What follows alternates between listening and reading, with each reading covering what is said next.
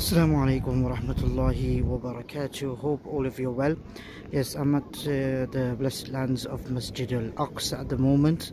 and this is just a short video to remind ourselves how blessed this uh, land is. This is the land wherein 124,000 Anbiya salam they prayed behind the Prophet wasallam. As you can see, this is Masjid al Aqsa just behind it. I've just performed Fajr and I've just come to do this short video here alhamdulillah. So i will take you through uh, around masjid al-aqsa compound. This is the whole land when there's a lot of blessing written about it and it is important that we try to take out um, time to come here. You know it doesn't cost too much.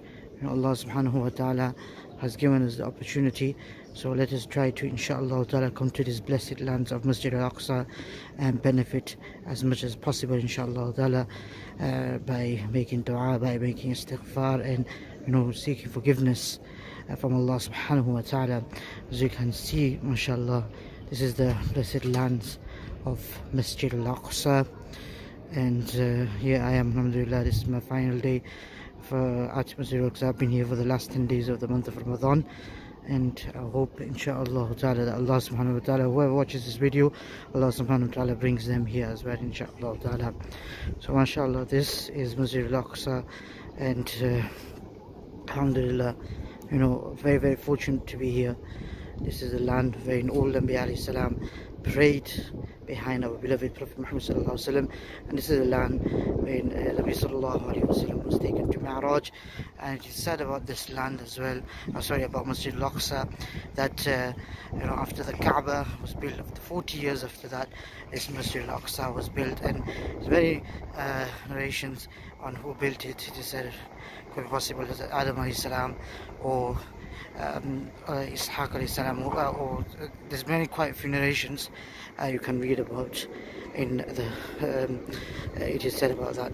So this is alhamdulillah the blessed lands of Masjid al-Aqsa and there you can see the dome of the rock where Nabi Sallallahu descended to the, to the seven heavens uh, Mi'raj took place and there's a rock inside which it is said that, inside there there's a cave alhamdulillah I had the chance of performing two rakats of prayer and uh, making dua to Allah subhanahu wa ta'ala. And had the chance of sitting in dhikr as well and making dua with uh, mashallah Sheikh Muhammad Venka from South Africa Durban. And we did mashallah you know, dua in the, in the cave as well. And it is said about that cave uh, mashallah Muhammad Venka mentioned this that uh, you know any dua that you make in this cave um, inshallah will definitely be accepted by Allah subhanahu wa ta'ala. So as you can see this, is the dome of the rock. And mashallah it is a brilliant you know uh, look there alhamdulillah you can see and attractive to the viewers as well.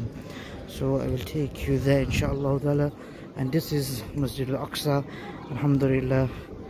Uh, when uh, mashallah ulama is taking place as well. And the blessed land of Masjid al-Aqsa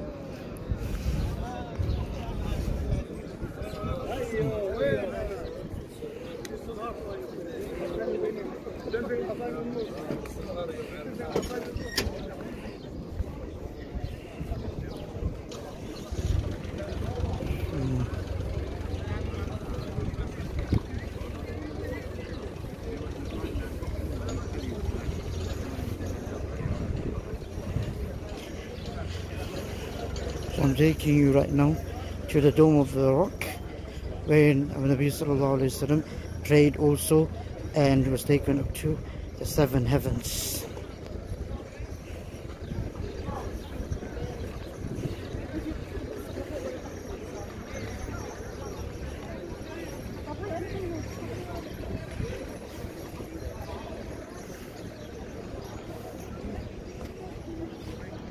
Alhamdulillah you can see this mashallah brilliant structure in front of me.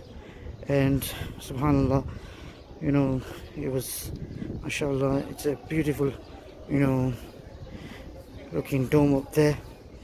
And inside it there's a rock where Nabi sallallahu alaihi wasallam he said about it that he ascended to the heavens